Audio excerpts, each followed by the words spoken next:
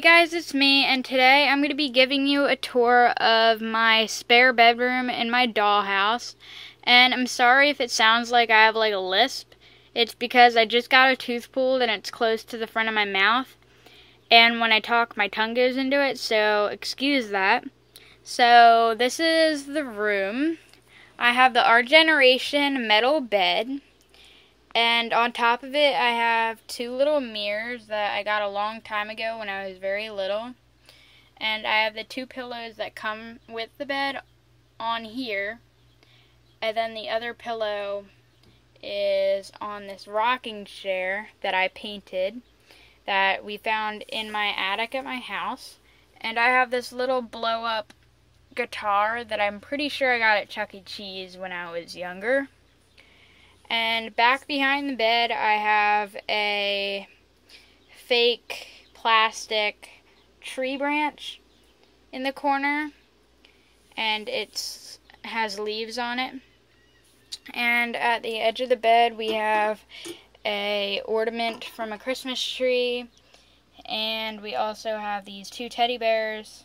One of them I won out of a claw machine and one I think I might have gotten at McDonald's a long time ago. I have little carpet down and then I painted this shelf and it has a little My Little Pony from when I was little, a Isabelle toy and some bubbles and a little camera and an iPod.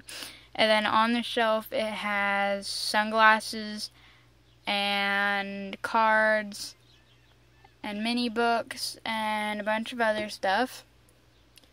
And then over here we have two heart pillows. So that's basically the room. And it is on the bottom floor. So I'll zoom out so that you can see where it is on the house. And I'm sorry about the lighting, but my blinds make it all weird. So, thanks for watching. And when Maryellen comes out, I will be getting her. Right when she was right when she releases on the internet, I will be purchasing her and that's going to be my birthday present cuz it's on the 23rd and she's going to be released on the 27th if you haven't heard. So, yeah, stay tuned for that opening. And I'm also saving up for a lot more of her stuff. I really, really want her TV and her couch. So, yeah, stay tuned on my channel for that. Comment, rate, subscribe. Bye. Thanks for watching.